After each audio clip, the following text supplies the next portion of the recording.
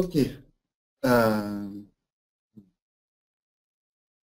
voilà. Donc, euh, en guise d'introduction, euh, voilà, je vais situer juste où nous sommes. Donc, Fanny vous a présenté la méthode, en quoi elle consiste, les huit étapes. Là, je vais vous parler de l'expérimentation que nous avons menée l'an dernier, en 2015. Et dans le 27 mai, il y aura donc une autre webconférence qui laissera la parole à une entité qui a participé à l'expérimentation, euh, voilà, qui sera Kevin Franco de la société Pocheco. Euh, donc là, dans le quart d'heure qui m'est imparti, euh, qui est très court par rapport à tout ce que j'ai à dire, donc je vais vous dire en quoi a consisté l'expérimentation, un mot sur les résultats obtenus, le déroulement opérationnel de l'expérimentation, comment on fait en pratique au quotidien, euh, et ensuite, j'aurai une diapo sur les 10 points clés euh, méthodologiques à, retenir et une slide de conclusion. Voilà. Donc, l'expérimentation que nous avons menée. Donc, pourquoi déjà? C'est parce que c'est une méthode qui est récente. Il y a un réel besoin d'un cadre méthodologique pour quantifier l'impact d'une action. Euh, et elle est encore très peu diffusée. Euh, on avait besoin de tester euh, sa robustesse et la, la, tester à grande échelle. Donc il y a 10 collectivités et 10 entreprises qui ont participé à cette expérimentation avec 40 actions de réduction de typologies très variées. Transport, des déchets, etc. en parallèle, il y avait, donc, comme l'a dit Fanny tout à l'heure, une autre expérimentation menée par un autre prestataire, c'était le, bureau d'études iCare, euh, sur 14 actions spécifiques aux déchets. L'expérimentation a duré 8 mois, mais la phase de quantification en tant que telle a, duré euh, beaucoup moins. Euh, pour quantifier une action, compter entre, 1 et 4 mois, selon la, réactivité des personnes ressources pour amener les données. Donc le recueil des fiches euh, je le rappelle, est téléchargeable, disponible sur Internet. Vous avez tout en PDF, en Excel, euh, euh, tout est disponible. Et je rappelle le rendez-vous pour la semaine prochaine, le 27 mai, avec Kevin Franco. Par rapport aux résultats, globalement, l'impact gaz à effet de serre réel, entre guillemets, d'une action est rarement évident a priori. Euh, parfois même, il est surprenant. Voilà. Les... Deuxième point, c'est que les impacts sont fortement dépendants du contexte. On en parlait tout à l'heure. Tout dépend euh, du scénario de référence, d'un certain nombre de choses. Les conséquences qui sont intégrées dans la quantification d'une entité ne seront pas forcément les mêmes que pour une autre, puisque le contexte ne sera pas le même. Euh, et dernier point, pour aborder la chose globalement, c'est que le niveau de complexité est très variable. Et, euh, euh, voilà, notamment sur les arbres, des conséquences, parfois ils sont simples, il y a quelques conséquences dans l'arbre, peut-être on manque d'imagination, je ne sais pas, parfois ça devient très complexe. Euh.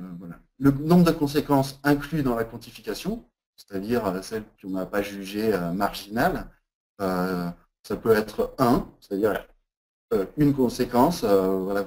Typiquement, l'isolation du bâtiment, il y a une conséquence majeure, c'est la réduction des consommations pour le chauffage. Et euh, après, les autres sont beaucoup plus faibles. Si on est dans une approche simplifiée, on aura une conséquence.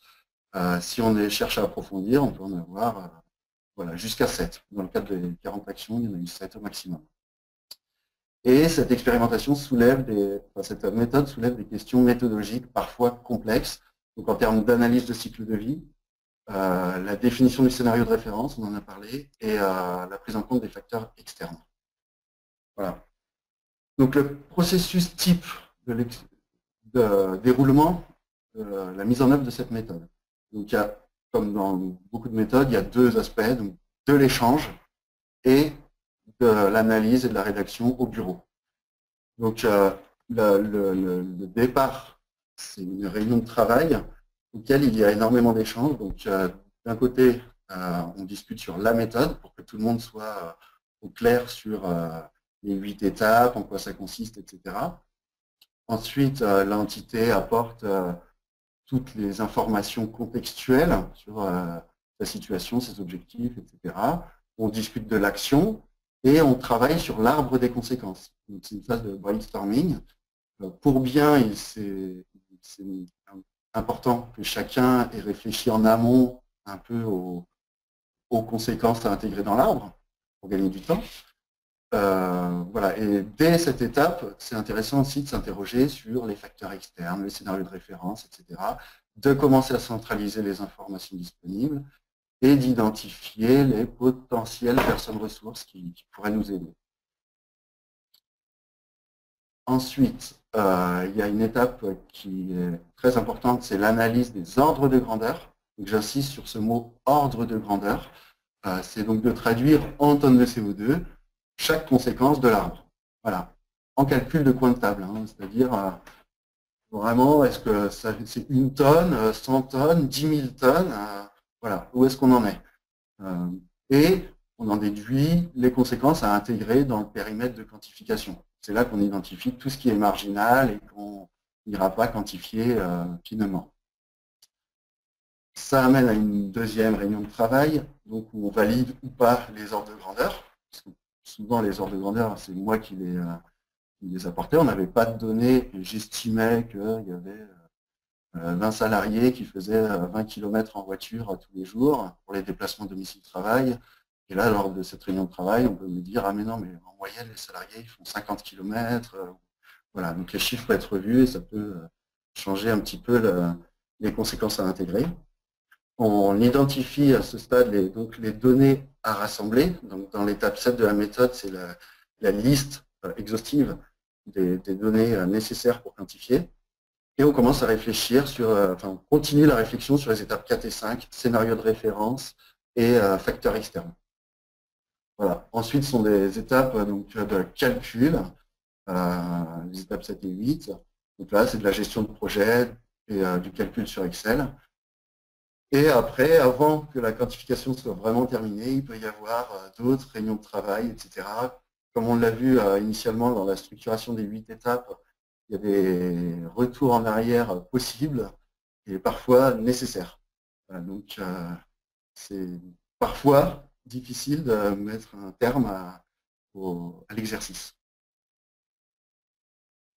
Voilà. Donc euh, en ce qui concerne les 10 points clés méthodologiques. Il faut savoir que euh, l'arbre des conséquences, la, construction de l'arbre et les conséquences qui, qui vont apparaître euh, n'est pas univoque. Euh, c'est une construction itérative. On ne fait jamais du premier coup euh, l'arbre parfait. Il y a un principe qui a émergé au cours de l'expérimentation, c'est un principe de pédagogie et de lisibilité. Voilà, c'est important d'avoir ça en tête pour que l'arbre soit lisible par tout le monde et compréhensible et qu'il puisse mettre en avant les points saillants pour le lecteur. Le deuxième point, c'est la, problématique des facteurs externes euh, qui sont souvent difficiles à, intégrer d'un point de vue calculatoire, déjà. Euh, mathématiquement, euh, sur Excel, ce n'est pas toujours simple. les données sont souvent difficiles à, récupérer et elles peuvent être d'origine, enfin, les facteurs externes, on a parlé du facteur structure tout à l'heure, la population qui augmente d'un facteur 5, les émissions qui augmentent d'un facteur 4, donc il y a une réduction. Euh, euh, ça, c'est une chose. Il y a les, facteurs euh, climat. Il, peut y avoir plein d'autres facteurs qui ont une influence sur, le, sur les émissions de, l'entité. Donc le troisième point, c'est le scénario de référence. On en a déjà parlé et c'est parfois une hypothèse très sensible. Comme l'a dit Fanny, on pose souvent comme hypothèse que en l'absence de l'action, il ne se serait rien passé de spécial. C'est le scénario de référence et le statu quo. Mais parfois, ça peut être euh, plus délicat. Typiquement, l'exemple que je donne souvent, c'est euh, si on remplace une chaudière fuel par une chaudière bois, euh, voilà, on peut comparer les émissions avant-après entre le fuel et le bois, mais on peut aussi se dire, mais non, mais la chaudière fuel, de toute façon, elle aurait été remplacée, il était acté qu'on l'aurait euh, remplacé par une chaudière, euh, par une pompe à chaleur. et donc là, il est plus pertinent de se comparer au scénario pompe à chaleur. Donc là, il faut voir objectivement qu'est-ce qui aurait été le plus probable si on n'avait pas mis une chaudière bois, qu'est-ce qu'on aurait mis probablement.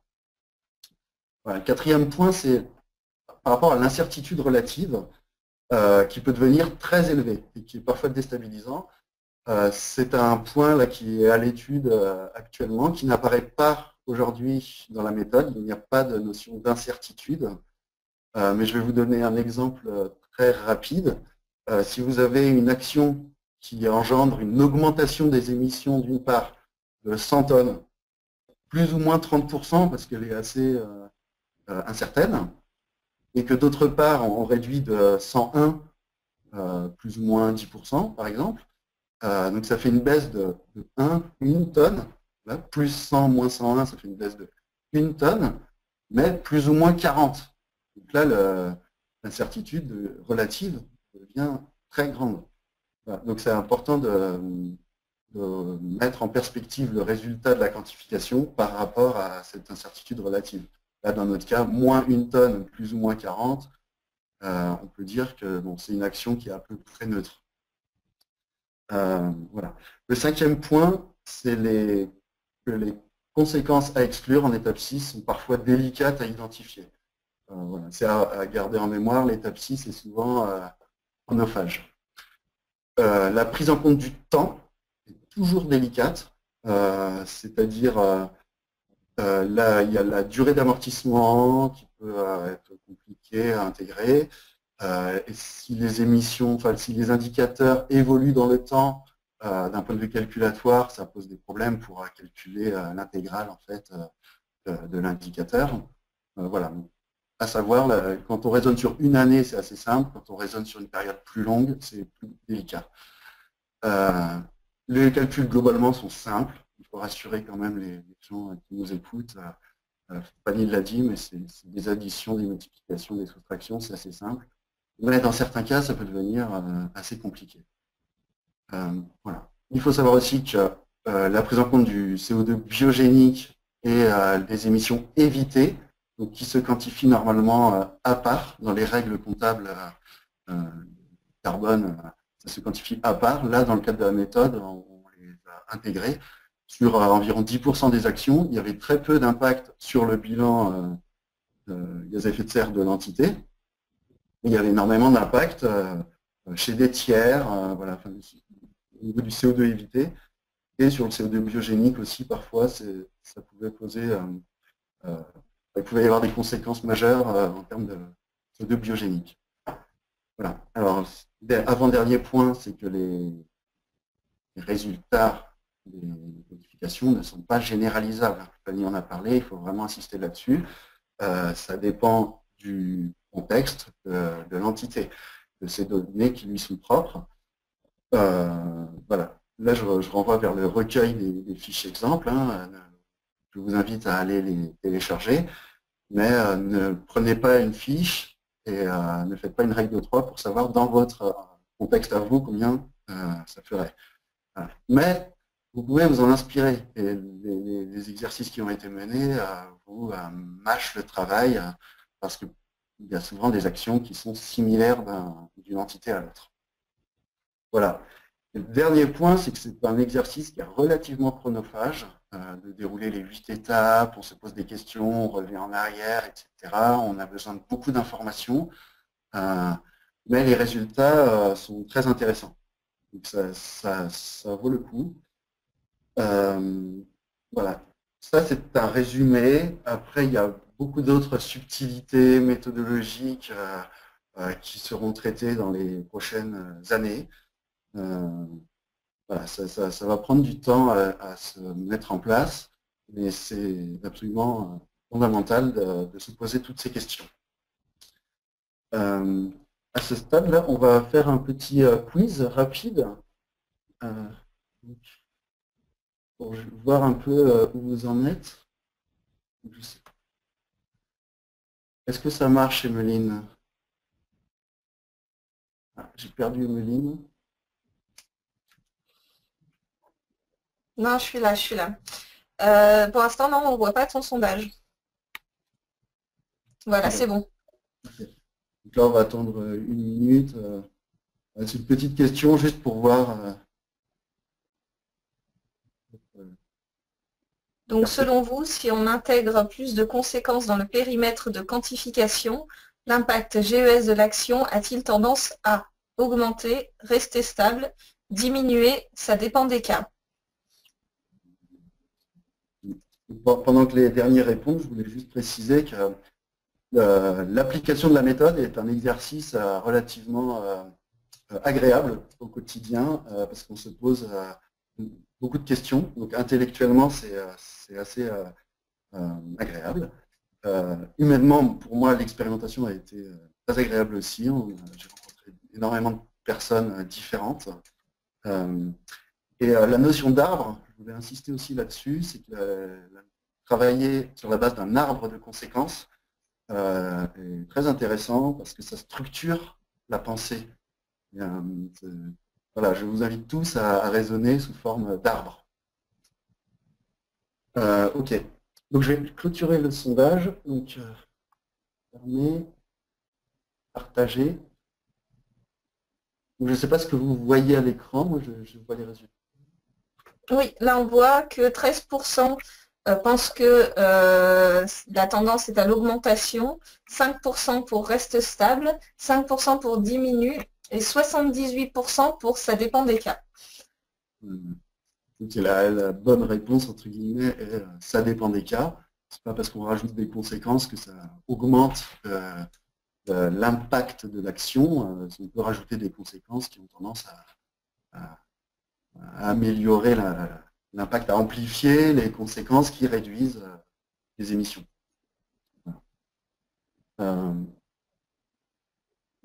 Masque de sondage, c'est ça? Oui. Voilà. Ok. Et donc,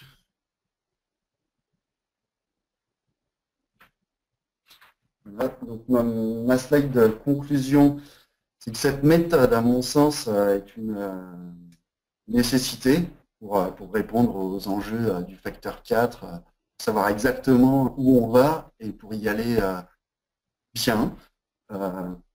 Premier lieu, ça permet de prendre conscience, d'identifier les actions qui sont euh, contre-productives. Euh, ça met en évidence aussi des gains gaz à effet de serre euh, insoupçonnés a priori. et d'identifier des indicateurs de suivi à mettre en œuvre. Donc ça, c'est des choses qu'on voit aussi quand on fait un bilan carbone classique. Il nous manque toujours des, données, des indicateurs de suivi. Mais là, à plus forte raison, parce qu'on va avoir besoin d'informations qui ne sont pas nécessairement euh, intégrées dans le bilan carbone de l'entité.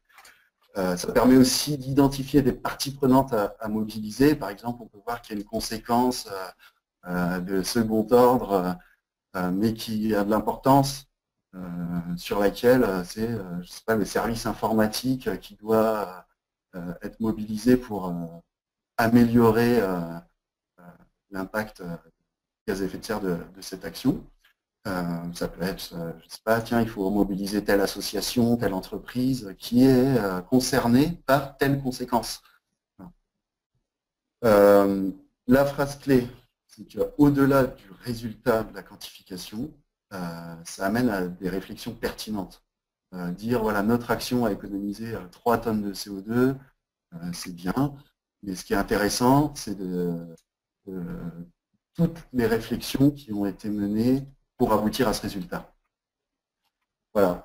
Donc ça permet de mener cette méthode, ça permet à l'entité de mieux connaître les impacts de ses actions, et donc de communiquer sur des éléments tangibles, au niveau de l'impact euh, gaz à effet de serre euh, global de l'action.